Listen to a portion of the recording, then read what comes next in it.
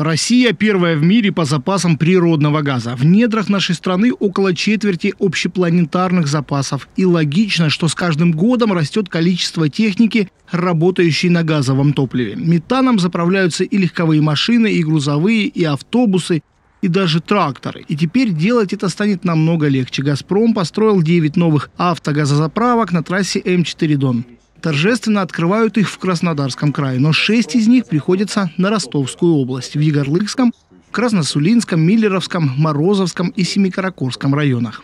Три, два, один, пуск! В прошлом году наш регион стал российским лидером по продажам природного газа в качестве моторного топлива. В Ростовской области реализовано 106 миллионов кубометров метана на 12% больше, чем годом ранее. И вот такие открытия девяти станций – это еще раз реальные коридоры, по которым будут ездить реальные машины, которые будут в два, два с половиной, три раза дешевле получать реальное топливо. Мы не собираемся задирать цены. Это не в наших интересах. И экология вообще отсутствие всяких выплат.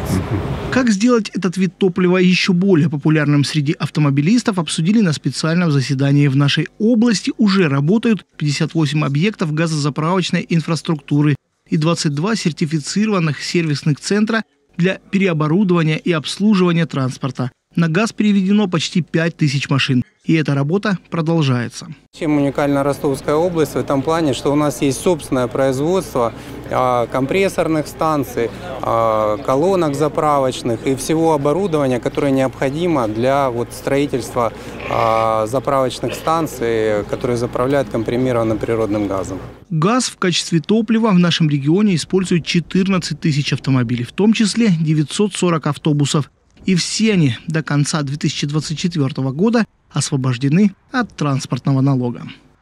Иван Полихин, Руслан Хамчиев, Первый Ростовский.